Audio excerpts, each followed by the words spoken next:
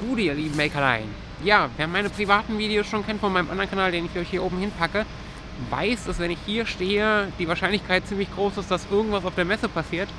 Und wir haben heute den 19. November und der kundige 3D-Druckler weiß natürlich, dass entsprechend an dem Tag die Form Next hier in Frankfurt wieder startet. Und ich würde sagen, wir labern nicht lange rum, sondern gehen rüber. Es ist kalt, es ist regnerig, es ist nass. Und wir schauen mal, was da drüben alles los ist.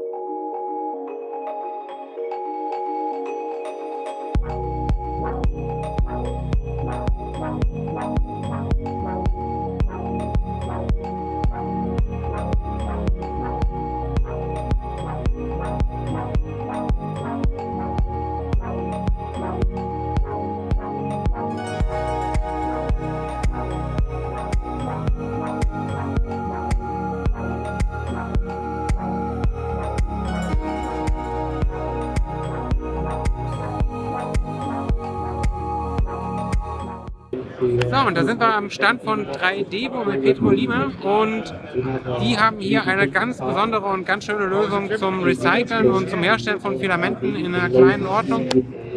Hi Petro. Hello, how are you? Great, and you? I'm good, thank you. Thank you for having me. So Petro, tell us about this beauty here. What can you do with this? So this, guys, uh, is our plastic shredder, which is the first step of a material processing, recycling, and developing solutions. So basically, this machine allows you to grind your failed parts, your scrap material, your support items, uh, and plastic waste in general, and just uh, basically recycle. That sounds awesome. So you can basically shred everything with this, right? Everything with plastic? Yeah, this shredder allows you to shred pretty much any polymer out there. So as Okay. long as you know the polymer that you have at hand, you should be able to process it. Okay. And how does the material come out there? Uh, How so basic-? Yeah. So for instance, here today we have like some PLA failed prints. So basically, should I turn on the shredder? Yes, of course. Turn on the shredder. You go. Throw the material inside the shredder. That machine is gonna grind it. And then in the end, you have something like this, which is the uh, output with the particle fine enough to be put into the next process, part of the process, Which will be? which will be drying the filament. Okay, let's head over to the dryer. So, and this is the dryer. That's right. This is the dryer, which is the second part of the process. So you take your regrinds from the shredder, what we have just shredded, and then you put into the dryer. How does that work? Why is that important? Because you have to get rid of moisture in order to be able to process your material, right? So you put your material inside the hopper. Uh, the machine is gonna blow, blow hot air towards the polymer, towards the material. It can be powder, it can be regrind, or it can be virgin material. And while the material is inside the hopper, there's a steering arm, which is gonna keep the material moving, so all the moisture can be blown away.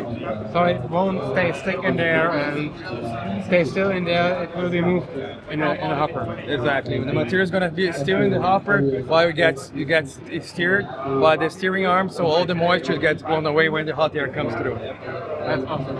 And from this on, we go to an extruder. Yeah, from this one we're gonna take the material when it's dried and then we go to the filament maker so we can transform that into filament. Perfect.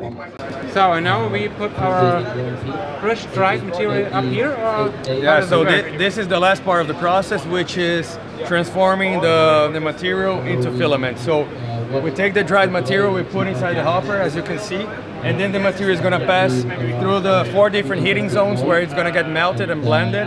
After that, it, it comes through the nozzle, it's cooled up, is measured up by the optical sensor, and then it goes to the spooling system, which is gonna get spooled. How big is the tolerance on this machine? These machines, they, they're equipped with an optical sensor. They can be logged to any computer, so you have you can have a good control over your the quality of your filament and the diameter, which uh, deviates around uh, 500 microns max, so 0.05 millimeters. And what materials are, am I able to uh, extrude on this machine? Are I able to extrude PLA, PETG, of course, ABS? Yeah, these machines they go up to 450 degrees, so meaning that you can extrude all uh, low melting point materials like you just mentioned, PLA, ABS, PET, PETG, TPUs, TPEs. TPU. Okay. Yeah, and you can also go up to high-end materials such as PEEK, uh, PEKK, PPSU, PSU, uh, ULTEM, you name it. So this machine gives you flexibility to process any uh, polymer out there. Thank you very much. It was very interesting. Thank you for having me and see you next time. See you next year. Bye-bye. Bye bye.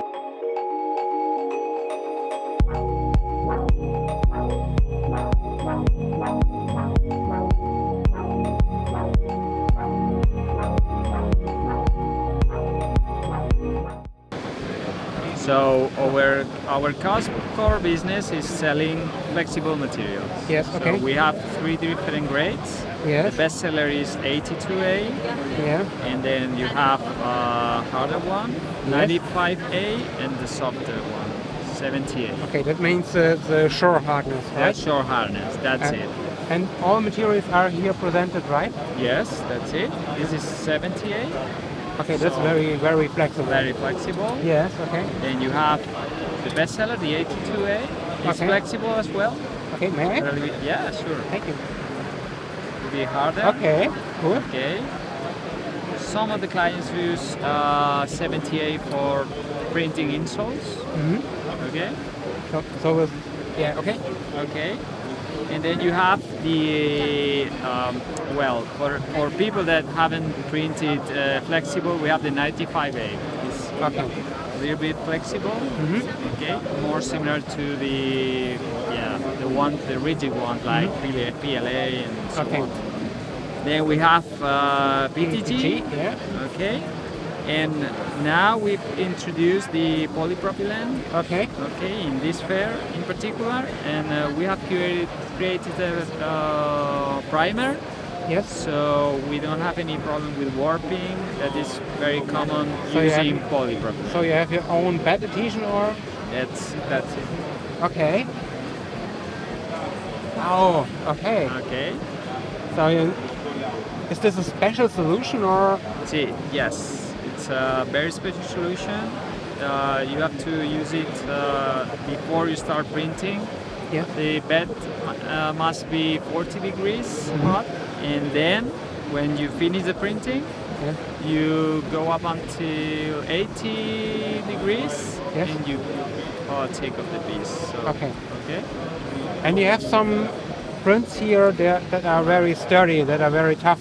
Like, you Yes. like the helmet over here. This is the polypropylene. That's that's polycarbonate.